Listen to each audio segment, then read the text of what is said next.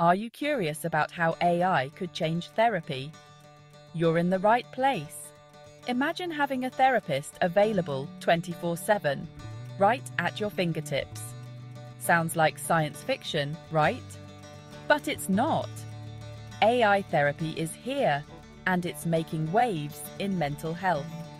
In this series, we'll uncover the ins and outs of AI therapy. We'll test it out, see how it works, and find out if it really can help you feel better.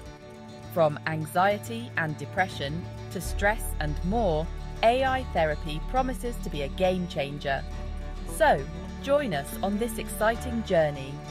Could AI be the future of mental health support? Let's find out together.